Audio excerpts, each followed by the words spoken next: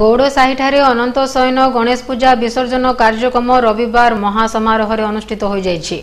କ୍ଷୀରାଭିଷେକ ମାଧ୍ୟମରେ ଠାକୁରଙ୍କୁ ଏପରି ବିସର୍ଜନ କରାଯାଇଥିଲା। ପୂଜା କମିଟିର ସମସ୍ତ ସଦସ୍ୟ ଓ ଗୌଡ଼ସାହି ବାସିନ୍ଦା ଏହି ଅବସରରେ ଉପସ୍ଥିତ ଥିଲେ। ଏହି କ୍ଷୀରାଭିଷେକ କାର୍ଯ୍ୟକ୍ରମ ଦେଖିବା ପାଇଁ ଆଖପାଖ ଅଞ୍ଚଳର ଭକ୍ତମାନଙ୍କ ଭିଡ଼ ଲାଗି ରହିଥିଲା।